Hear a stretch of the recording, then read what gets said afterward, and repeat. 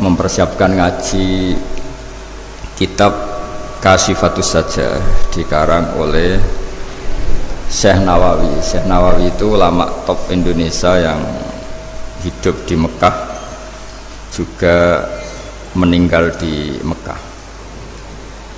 Dulu di antara kearifan buyut-buyut kami, leluhur kami, itu kalau cerita itu nggak apa-apa kamu mondok di Mekah di sana tapi bawa pohon yang hidup di Indonesia.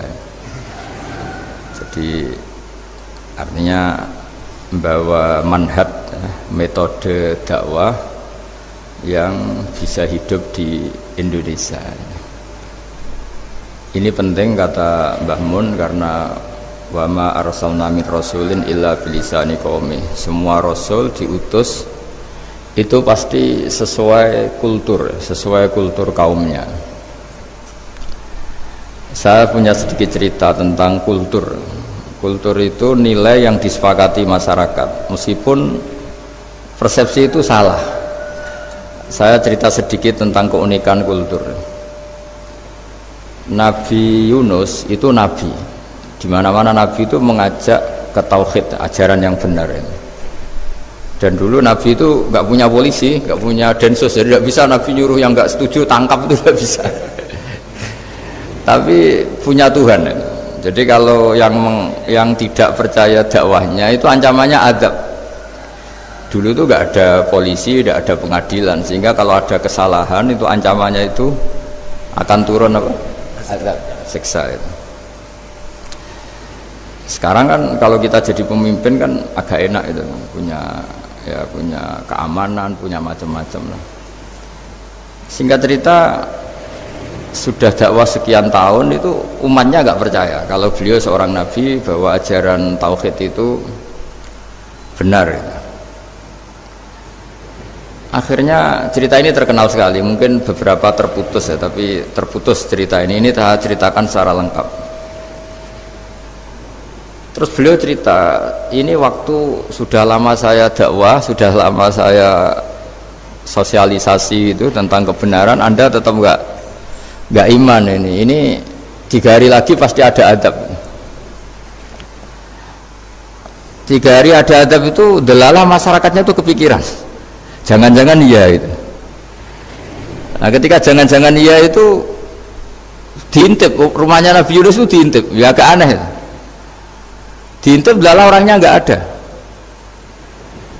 Nggak ada itu kalau Quran bahasakan is abako abako itu minggat. Minggat itu pergi nggak pamit. Ya itu bahasanya abako itu minggat. Meskipun kita tidak mungkin membahasakan nabi itu minggat. Tapi dibahasakan tindakan kan tidak mungkin karena nggak pamit. Itu. jadi harus dibahasakan minggat itu. Quran sendiri membahasakan abako nah cara berpikir masyarakat gini kalau kampung ini mau dibalik sama Allah mau ada adab logikanya yang tahu akan ada adab itu pasti sudah pergi. Padahal Nabi Yunus pergi ini bukan karena takut adab mangkel. Seniai suwi gagal seminggat ya kan gitu. Jadi, jadi, jadi, jadi ada kiai minggat itu ya ada dalilnya. Karena dulu itu kalau mangkel itu suami mangkel istri itu ya harus minggat istri ya harus minggat. Dulu itu ya ya boleh maksudnya boleh itu ya kalau darurat ya minggat-minggat sedikit lah tidak apa-apa nah Nabi Yunus itu minggat tadi abako itu abako itu kalau dalam bahasa Arab pergi gak pamit ya. kalau orang Jawa bilang minggat kalau itu sebenarnya saking mangkelnya, saking emosinya beliau akhirnya meninggalkan kaumnya tanpa pamit. Tapi kaumnya itu menjadi tahu bahwa ini serius Yunus. Buktinya dia agak berani di kampung, berarti mau ada betul itu. Dan efek positif dari teori itu, teori kultur tadi. Kalau ada adab pasti dia pertama yang lari. Kayak dukun itu. Kenapa kita tidak percaya dukun nomor itu? Itu kan paling yang minta nomor dulu ada SDSB itu forecast itu kan paling salam templeknya kan 100 ribu padahal dulu forecast itu berapa kalau menang kan miliaran ya juta. Itu untuk kultur kita agak percaya dukun kan ngapain ngumpulin uang 100 ribu? Kalau dia tahu nomornya kan mendingan tombok sendiri. Gitu, gitu. itu kan. Jadi orang itu mesti punya teori umum untuk membenarkan sesuatu atau membohongkan itu. Akhirnya umatnya Nabi Yunus itu iman.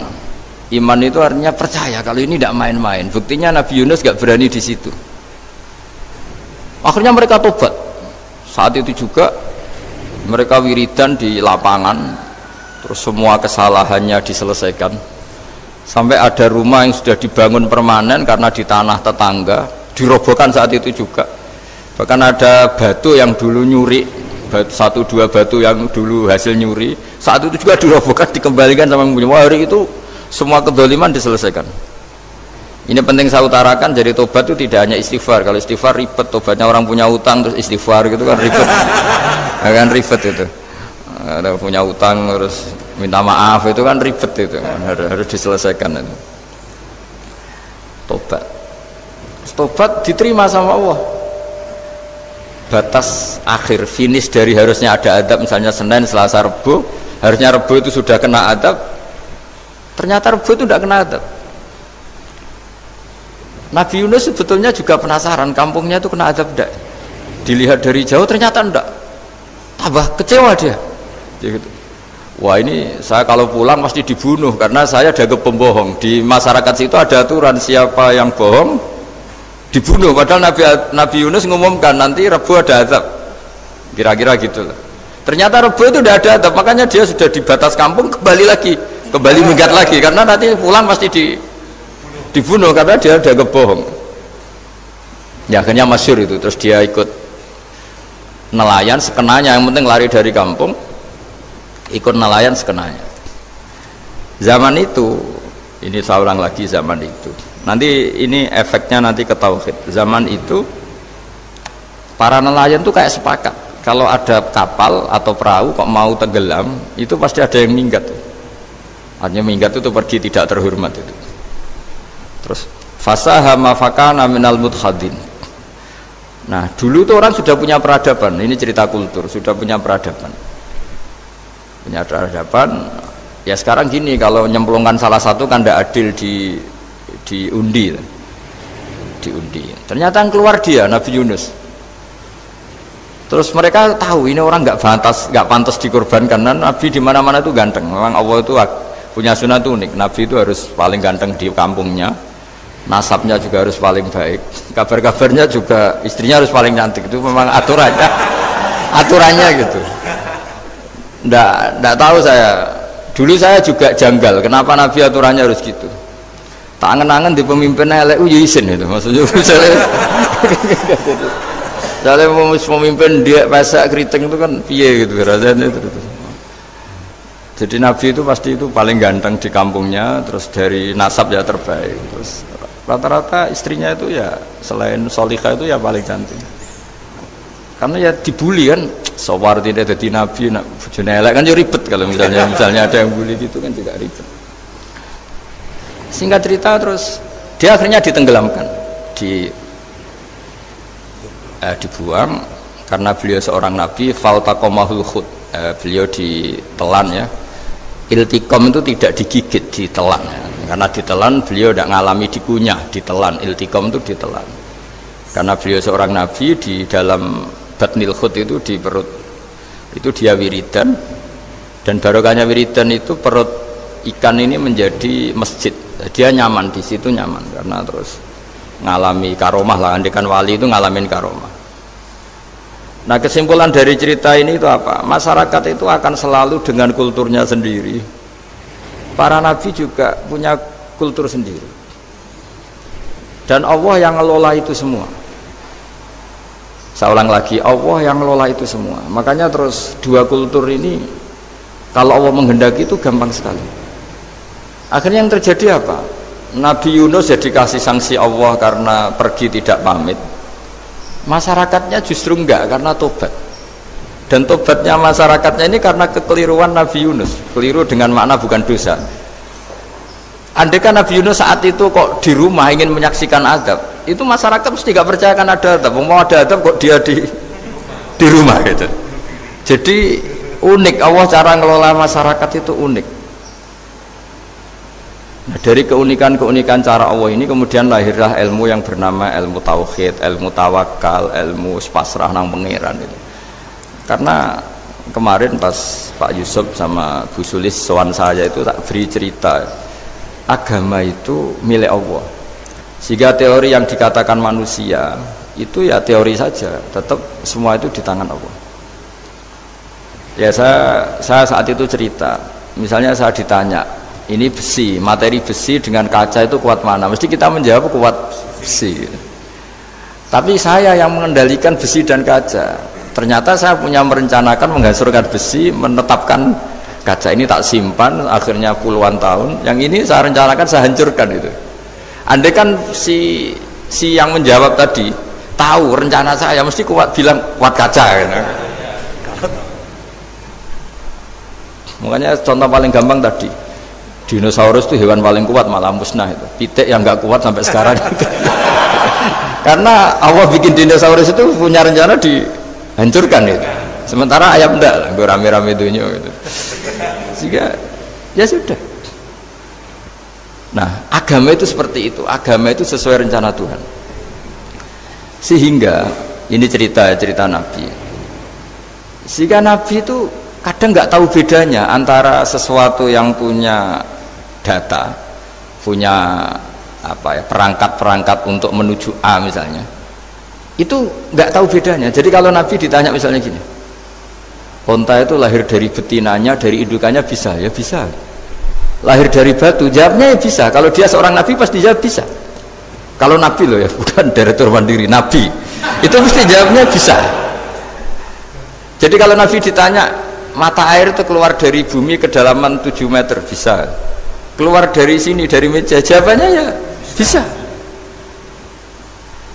Karena Nabi itu saking dekatnya Allah, tahu betul bahwa perangkat di dunia ini tidak bisa mendikte Allah.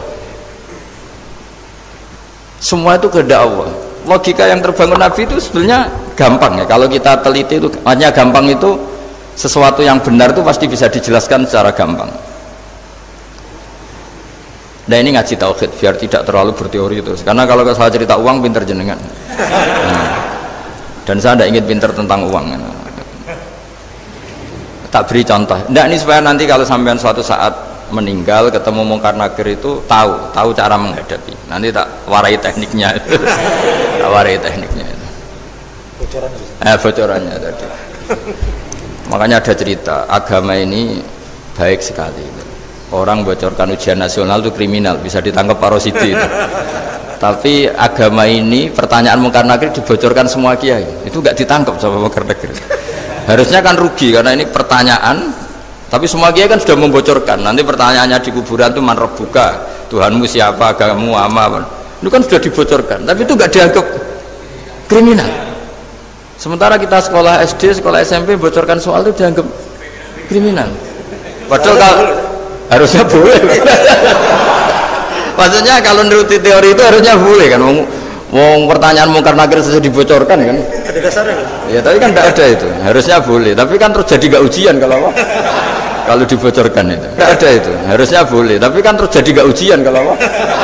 kalau dibocorkan jadi di, dibocorkan. Kurang apanya baiknya agama ini? Pertanyaan sepenting itu dibocorkan dan kiai-kiai nggak ditangkap sama mungkar nakir ya ada itu aja. Saya ulang lagi ya supaya kita ingat fitrah salimah soal anda modern monggo lah. Tapi saya sebagai kiai akan ngajari kalian tentang fitrah salimah. Jadi kalau kamu itu benar-benar beragama ini misalnya kertas ini lempengan baja. Kalau kamu beragama ya terserah jenengan.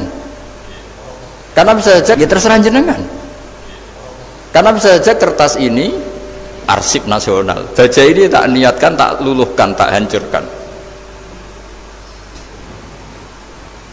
sehingga kalau kita ngomong ya secara materi harus ditambahi secara materi kuat gajah ya Allah. Tapi secara substansi jenengan ya terserah jenengan monggo. Nah di sini yang mulai orang lupa itu karena selalu menjawab pasti kuat gajah.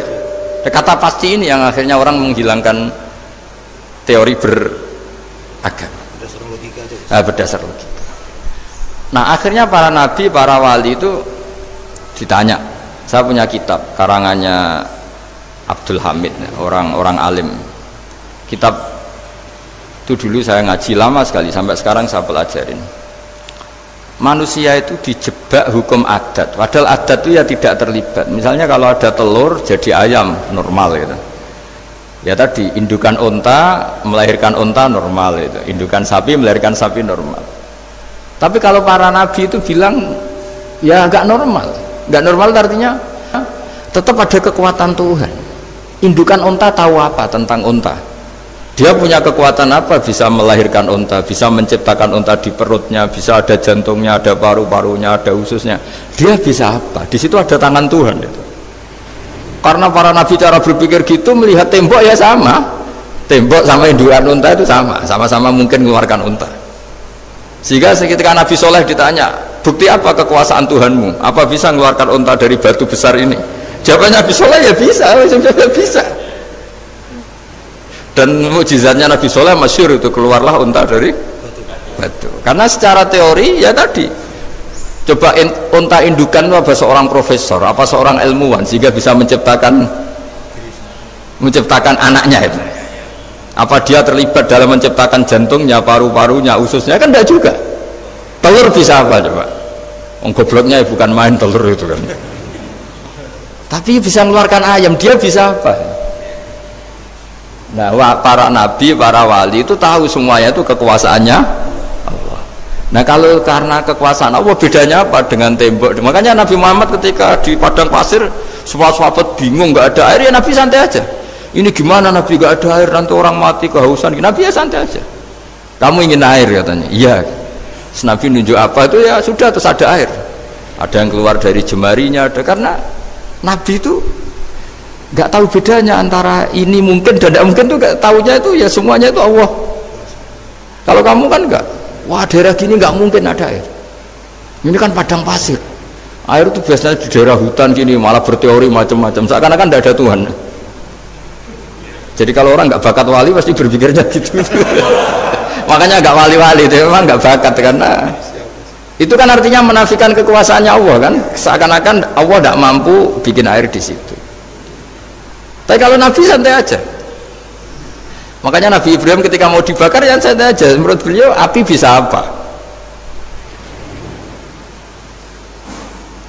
Jadi itu meskipun hukum adat itu ya selalu berjalan. Normalnya api yang membakar di padang pasir normalnya yang nggak ada air. Normalnya batu ya nggak mengeluarkan onta. Tapi kamu jangan terjebak oleh keseharian yang anda lihat. Tetap di balik itu ada kekuasaannya Allah Subhanahu wa ta'ala. Nah ini yang namanya iman. Dengan iman seperti itu nanti ketika kita mati itu ya santai saja. Ketika kita hidup ya tidak tahu. Oksigen itu apa masuk ke tubuh kita sistemnya kayak apa. Jantung kita kita ada ikut bikin paru-paru kita. Artinya zaman kita hidup pun sebenarnya kita tidak bisa. Ngelola kehidupan itu tidak bisa. Nah kalau sama nggak nggak bisa nanti setelah mati juga ada tidak bisa. Ya sudah ketika kita hidup yang ngelola juga Allah ketika mati juga yang ngelola bedanya apa? Nah, ini di sini terus kita dilatih inna solati wa nusuki wa mahyaya wa mamati lillahi rabbil alamin. Tapi kenapa kita ragu terhadap kehidupan setelah kematian? Karena ketika kita hidup seakan-akan kita tahu cara hidup. Makanya Allah itu tersinggung betul ketika ada orang merasa bisa ngelola cara hidupnya makanya kata Allah kalau gojlok ya gojlok orang-orang yang kepedean itu kalau kamu top jangan mati. Itu falaula in kuntum ghaira madinin tarji'unaha in kuntum shadiqin kalau kamu merasa top itu jangan mati. Di mana-mana mati itu tidak top.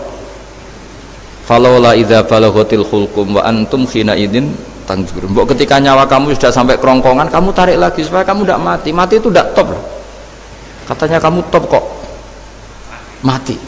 Jangan mati. Kalau top itu jangan jangan mati jangan miskin jangan tua jangan jadi jelek. Pokoknya top terus gitu. Itu digosok sama Allah. Tapi orang itu lupa bahwa nah ketika sehat begini kita seakan-akan ngelola kehidupan. Nah gara-gara merasa ngelola seakan-akan kalau mati lalu saya gimana ya kalau mati? Di kuburan ngapain? Terus ngantornya gimana? Kerjanya di mana? Ya tidak usah begitu. Nah ini di sini pentingnya tauhid. Orang dilatih berpikir al khalqul awal afa'ayina bil khalqil awal kalau dalam bahasa Yasin disebut kul yuhihalladzi ansaaha awwala marrah. Jadi agama itu orang dilatih membayangkan pertama hubungan kita dengan Allah. Misalnya manusia pertama itu siapa? Adam. Adam bisa berpikir, bisa berlogika, bisa jalan-jalan, bisa macam-macam. tapi andai kan anda jadi Nabi Adam mesti melihat kekuasaannya Allah itu begitu nyata karena saya materinya dari tanah. Ternyata saya bisa berpikir. Betapa kudrohnya Allah kekuasaan Allah tanah yang benda mati bisa berpikir. Sekarang jadi saya. Sehingga ketemu kira-kira Nabi Adam kalau ketemu tanah itu ya kalau mau maksiat wah ini tanah ini pasti komplain.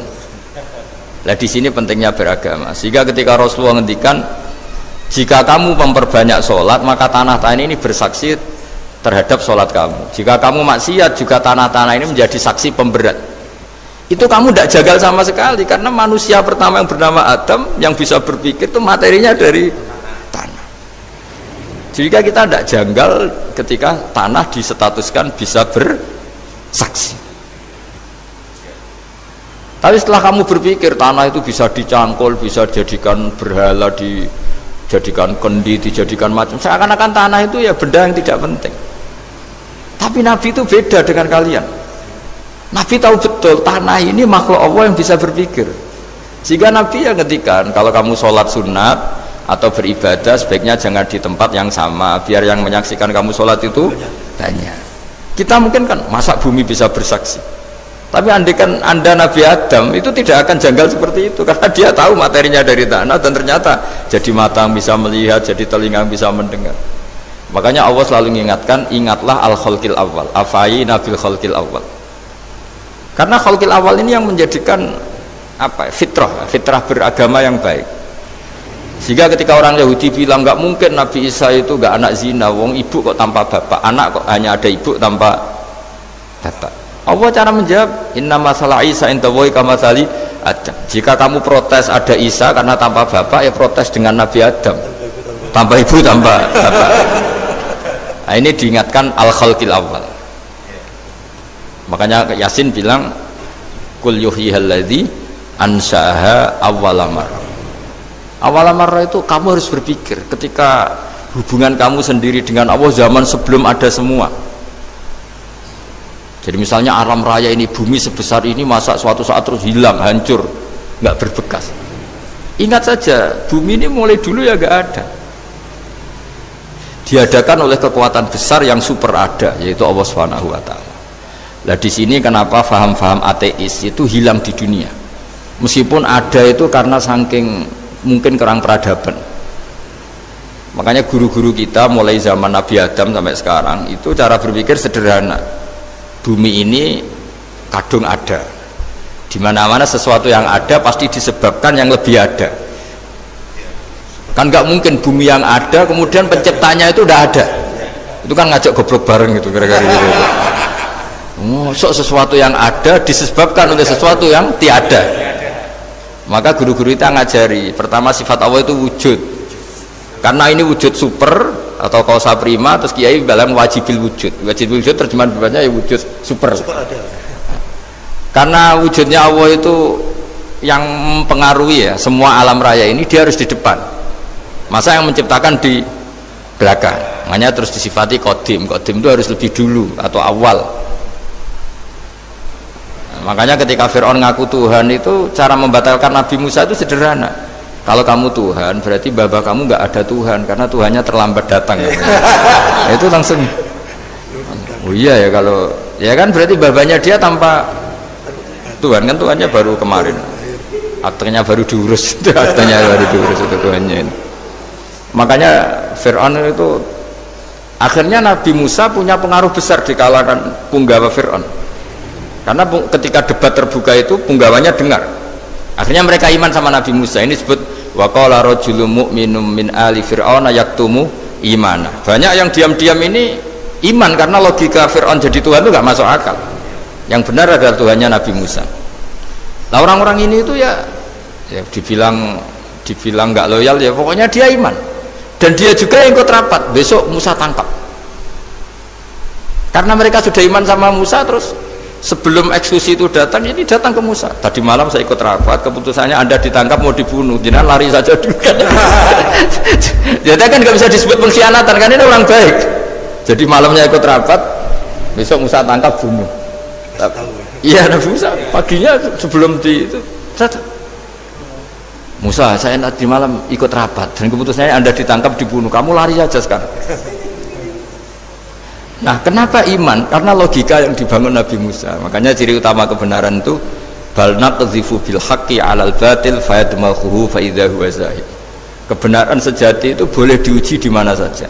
Dan Anda tidak usah khawatir kebenaran sejati itu kalah. Pasti menang. Kalau kebenaran itu kebenaran sejati pasti menang. Ya, di sini terus ada ulama-ulama kayak ya kayak banyak lah termasuk di Indonesia kayak Pak Quraisyha kayak yang nyaman saja anak-anaknya di luar negeri karena merasa kebenaran sejati itu tidak akan kalah. Sehingga ketika ada negara yang begitu maju saya pernah ditanya sama orang yang kuliah di Inggris di Swiss Gus saya ini kan orang Indonesia tapi pengagum negara Swiss Swedia negara di sana itu makmur terus tertib. Bagaimana saya tetap mencintai Islam? Yang secara lahir itu kadang-kadang beberapa negara Islam itu kacau ada seorang mahasiswa tanya gitu. Dia tahu dia tanya cara ingat Allah? Uh, ya membela Islam kira-kira gitu. Terus saya berita tak kasih tahu dia. Ketika anda muji negara-negara itu makmur sejahtera itu sebetulnya tetap utang jasa terbesar itu sama Tuhan. Pejabat bisa apa ketika Allah misalnya nggak bikin air? Negara bisa apa? Misalnya ketika Allah itu nggak bikin oksigen ini tetap semua ketertiban itu karena kehendak Allah. Berarti utang jasa kamu di negara mana pun tetap sama Allah bukan pada yang lain. Bahwa ada hukum sosial manusia oke lah kedua ketiga dia harus terima. Hanya dia sadar. Nah masalahnya kita ketika di negara yang makmur gitu pikiran kita oh, presidennya hebat menterinya hebat tata sosialnya hebat. Oke okay, gak apa-apa muji manusia itu gak apa-apa. Tapi tetap itu semua di bawah muji Allah subhanahu wa ta'ala ada air begini ciptaan Allah ada oksigen sehat ciptaannya Allah. Sehingga muji pertama itu kepada apa artinya kehebat manusia ketika ada gempa besar ada likuifaksi ada macam-macam? Nah, nah maksud saya ngaji di sini ingat Allah itu dengan cara seperti itu. Sehingga ketika kita hidup di negara Subhanallah wa bihamdihi adada khalqihi wa ridha nafsihi wa zinata arsyi wa midada kalimatihi. Subhanallah wa bihamdihi adada khalqihi wa ridha nafsihi wa zinata arsyi wa midada kalimatihi. Subhanallah wa bihamdihi adada khalqihi wa ridha nafsihi wa zinata arsyi wa midada Subhanallah wa bihamdihi adada khalqihi wa ridha nafsihi wa zinata arsyi umdada kalimati Subhanallah wa bihamdihi adada khalqihi wa ridha nafsihi wa zinata arsyi umdada kalimati Subhanallah wa bihamdihi